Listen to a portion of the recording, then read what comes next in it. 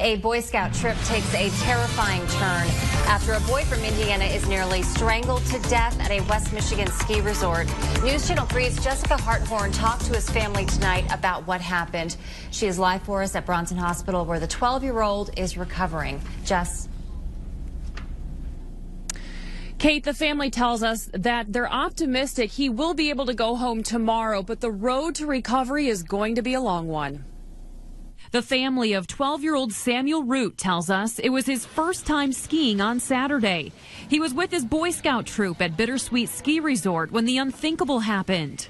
His scarf became entangled in the tow rope that was pulling him up, and it ended up lifting him up, and he was dangling, and the tow rope stopped for a moment, and that's when they realized this was all going on. So they weren't even sure how long he'd been without oxygen or how long he'd been hanging and they cut him down immediately, started doing CPR. He was pulseless. Samuel's aunt says he was revived after five minutes and then rushed to Bronson Hospital in Kalamazoo.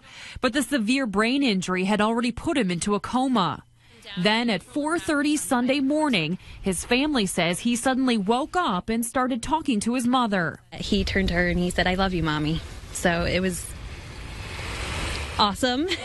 and I'm sure every my friends that I've talked to who keep calling and asking, they said that they were in tears and I was tearing up. Samuel's family tells us Bittersweet is investigating this accident.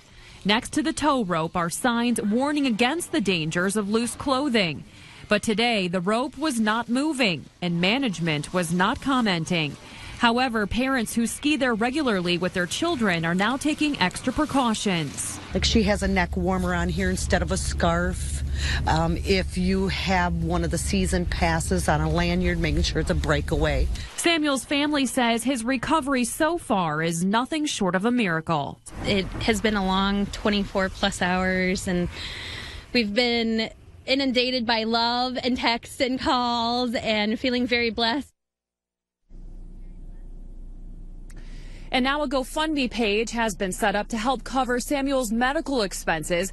The family says whatever's left over, the Boy Scout troop will cover. Reporting live from Kalamazoo, Jessica Harthorn, News Channel 3.